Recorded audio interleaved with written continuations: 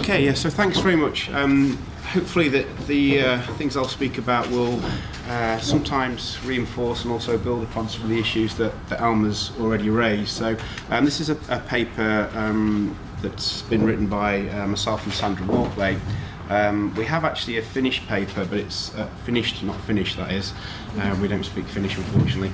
Uh, a finished paper that's under review for a special edition that Adam Crawford is uh, is hoping to publish in the British Journal of Criminology. So we're quite happy to make it uh, available once it's been uh, reviewed and come back. So if anybody does want to uh, read more, then of course we'll be willing to send it on.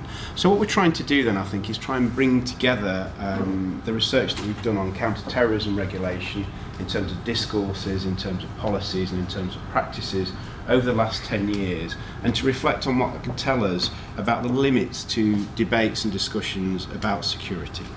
So in this presentation I want to try and split it down into three connected observations. Uh, those around divisions which are reproduced by policy, those around particular dualisms or ambivalences, and also those around duplicities, so the ways in which things are mischievously, erroneously and ideologically presented by the state in order to secure social control or particular political, geographical and economic ends. So we started to, to think there were some loose ends uh, from this book that we uh, published early on in the year called Contradictions of Terrorism. So what we're trying to do here is to think about the way in which there are uh, paradoxes which emerge in terms of the construction and representation of the terrorist threat.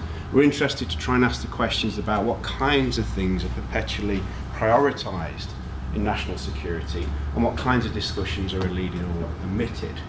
And that led us to think, I, I think, about some of the, um, obviously the gaps in terms of the way in which criminology approaches security. So there's very little good experiential data on what security means, on what it means to be subjected to the security of the state. Indeed, what insecurity feels like at an ontological level.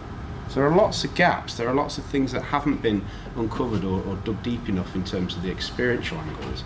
And there's also not a great deal in criminology, in my view, of conceptual machinery through which we can understand and stretch the notion of security.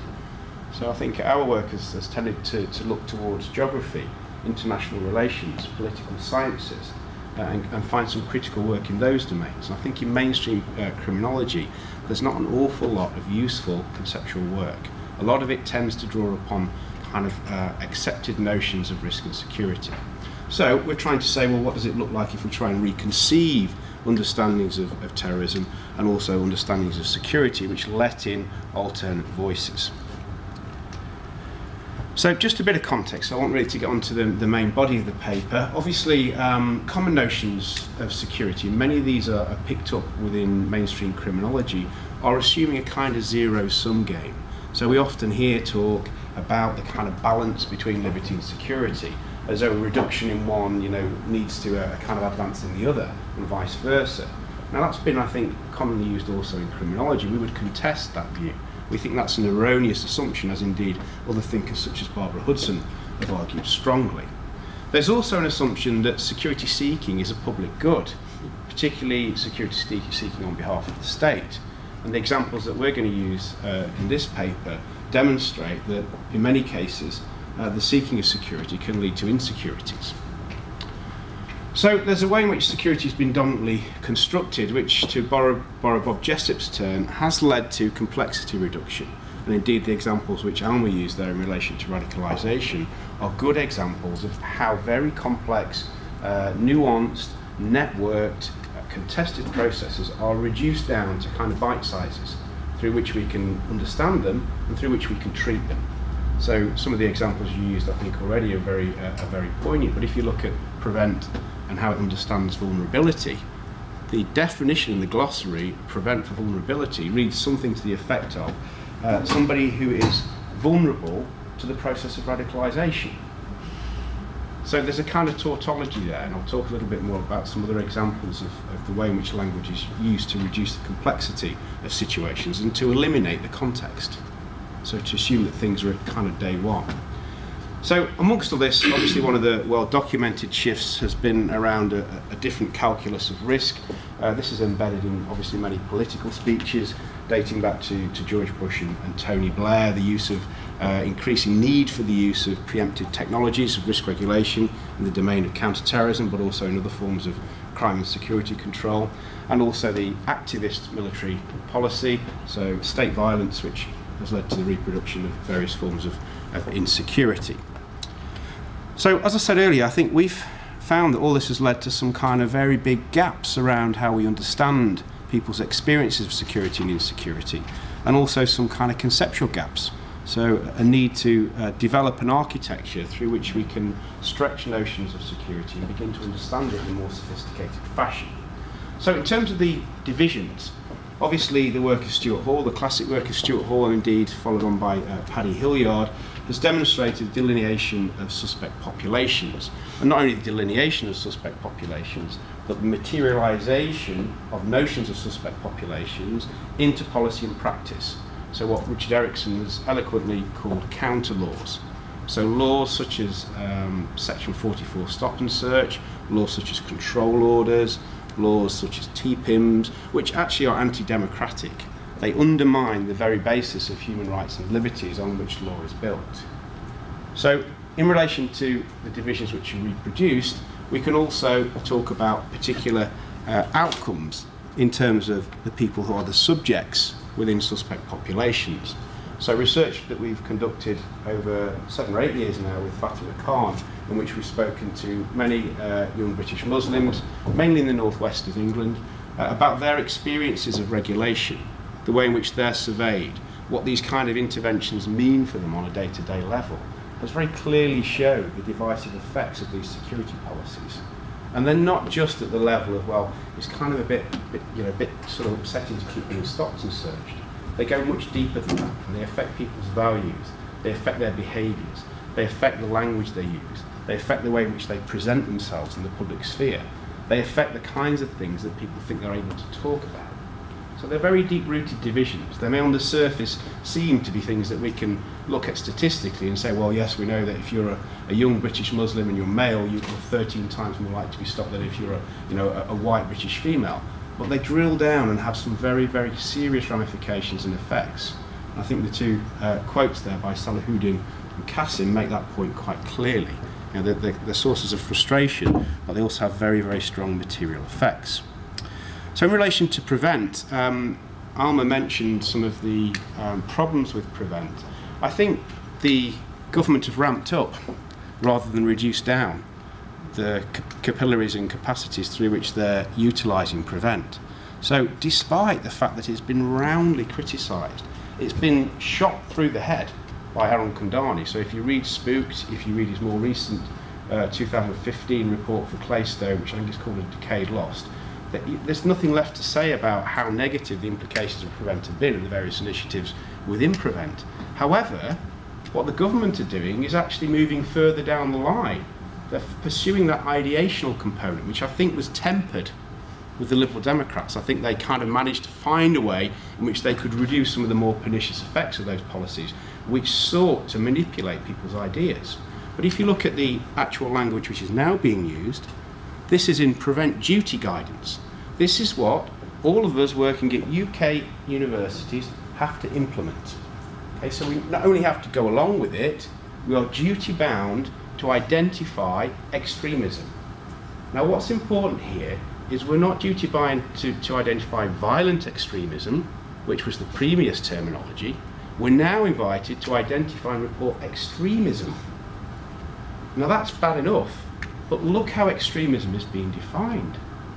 So opposition to fundamental British values, whatever they might be and however they're conceived, including democracy. So who here in this room has not written or thought critically about the formal democratic process? including the rule of law. Well, entire criminology and law departments could be shut down here. Now this is only tongue-in-cheek because it's, it's quite ridiculous. However, it's now statute. So somehow the, the kind of creeping tentacles of policy and practice and, and ideational notions of security are being withered away. and it's indexed obviously to, to an attempt to reduce resistance and to enhance social control through terrorism. So, as we've, said before many years ago, uh, rather than governing through crime, which was uh, obviously a very famously uh, used phrase, we've argued that there's an attempt to govern through terrorism. So these might be counter-terrorism policies, but they're, they're designed to have all sorts of effects to, to reduce the freedoms and rights of individuals. So the dualisms then, um, one of the things that's quite interesting I think is that the state has always uh, retained the mythology of, of providing universal rights and liberties. Uh, now, it's never done so. Western nation states, Western capitalist states have never done so, as we all know. However, I think the state has become quite emboldened, such that it no longer even promises that those rights and liberties will be defended. So this is taken from the UK security strategy. So to protect the security and freedom of the many, the state sometimes has to encroach on the liberties of a few, those who threaten us. Now, disregarding the, the, the, kind of problems associated with trying to define who it is that threatens us, and we all know about various miscarriages of, of, of justice that uh, come to pass through uh, faulty intelligence and, and, and policing, the state is no longer, even at that level of ideas, saying that it will secure the security of all its citizens. So security has become, even at a formal level, partial. So we've talked about partial forms of security. So certain groups are protected by freedoms, rights and liberties, and others, well, it's contingent. They have to commit to particular ideas, they have to assimilate in particular ways. So this reproduces for us what we've called a risk security paradox.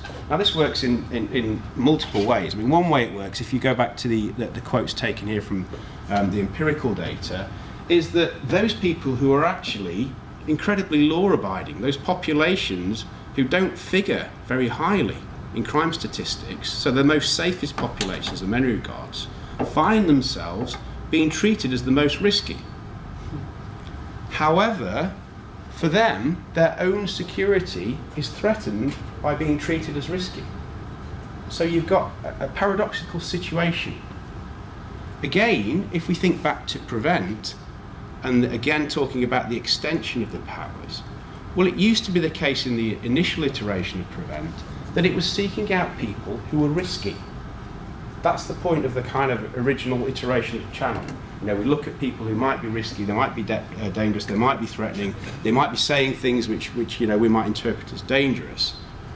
But if you now look at it, it's not just people who are risky, it's people who are at risk of being risky. so again, you have a role, and this is why you've got school children.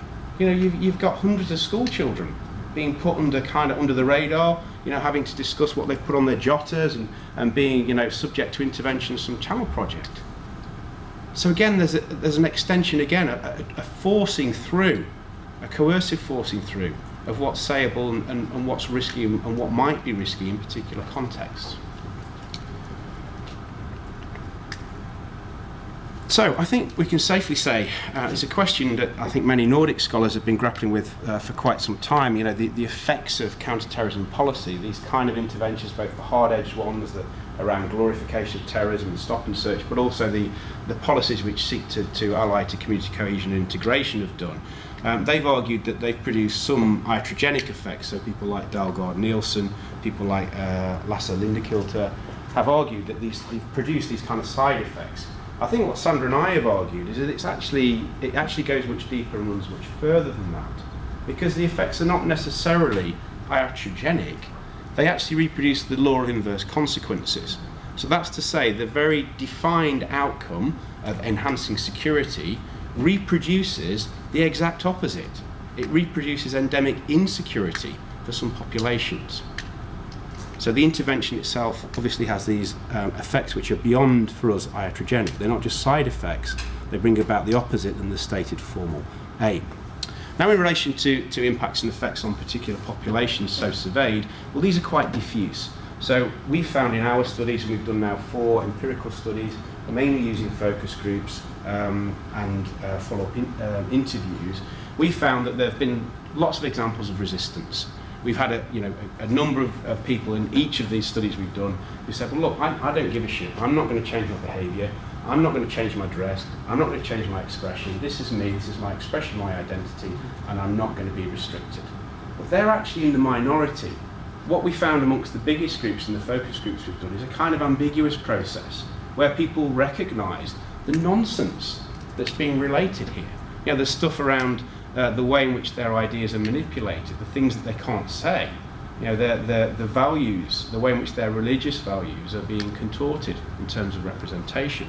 They recognise that, but they also realise that if they, if they kind of say the things that might be sayable for white British people around opposition to forms of, of counter-terrorism regulation, around opposition to forms of military policy and intervention, then they're likely to be treated suspiciously by the police, by members of the public, in educational settings and so on. So what you get is what we've called forms of securitized reflexivity. So this is one example here, Zain. He's talking about um, walking home at night times in, in Manchester. So if I'm going anywhere I don't know, especially if it's late on a night, I sometimes cover my beard up a bit or maybe take my hat off. Generally I wouldn't during the daytime, but if I'm walking in an area I don't know, I may cover up a bit just out of fear of attack. So we had all sorts of similar examples along a continuum. So uh, one woman uh, in one of the studies said, I don't wear black because terrorists wear black. I know it's ridiculous, but people treat me differently if I wear all black clothing. We had guys who said, I always keep my beard trimmed to European regulation length. so basically, you know, if, you, if, I go to work and I've got a, the beard that I would like to grow, I'm treated very differently. We had people who said, you know, I just don't talk in uh, Urdu or Punjabi when I'm, you know, on public transport or in, in particular social circles because people respond in different ways. So I would argue, or we've argued, it's a form of reflexivity around security which is far more advanced than, than many would, ha would have to do or deal with on a day-to-day -day basis. So even though the kind of no ideological notions or ideational notions are rejected, still the practices are being modified and altered.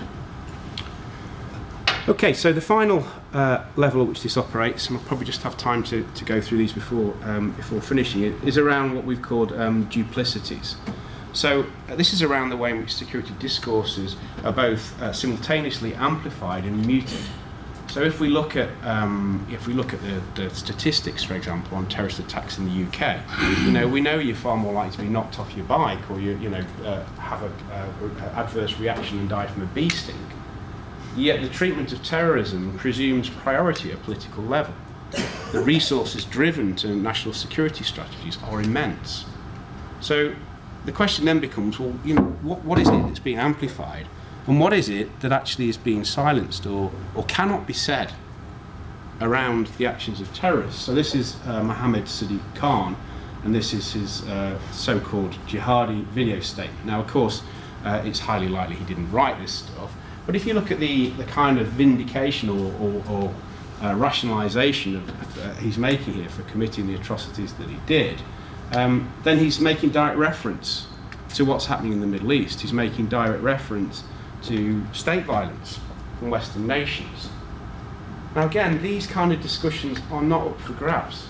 And despite the fact that this kind of um, position has been stated by many, many people involved in uh, political violence associated with Islamic extremism, there's next to none of this in, re in relation to why people are radicalised.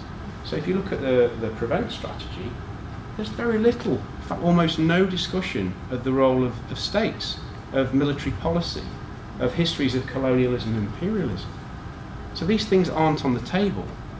Now, I would argue if you want to, if you want to try and really tackle the process of radicalisation, if indeed it exists, then you have to grapple at least with the expressed reasons why people engaged in this kind of violence say that they committed the atrocities they did.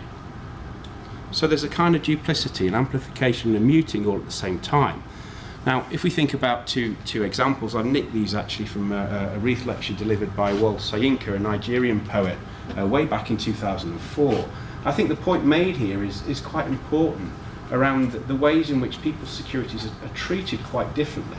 So the one on the left would probably, many of us will recognise as the, the plane um, which was subject to a terrorist attack and uh, came down over Lockerbie. The one on the right, probably fewer people will recognise, and this is a, a, a terrorist attack on a, a, plane that came down in uh, Niger in the Sahara um, around about half a year later.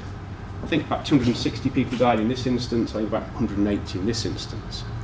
Now the point that Soyinka makes about this is that the treatment of these two uh, terrorist attacks is very different at all sorts of level. I mean, most of us probably wouldn't know about this one it didn't receive an awful lot of media attention, particularly in the West. Now, if you look at the forms of compensation that were paid out to victims' families, well, in this case, up to $10 million.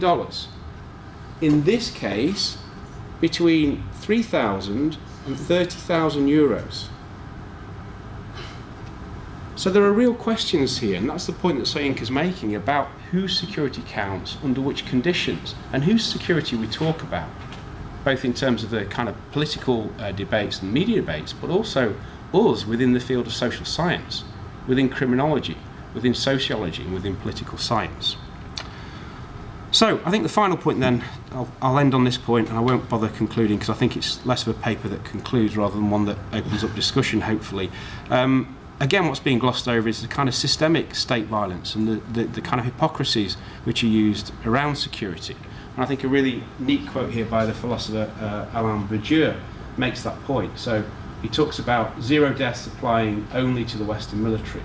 The bombs they drop kill a lot of people who are to blame for living underneath. Well, these casualties are Afghans, Palestinians.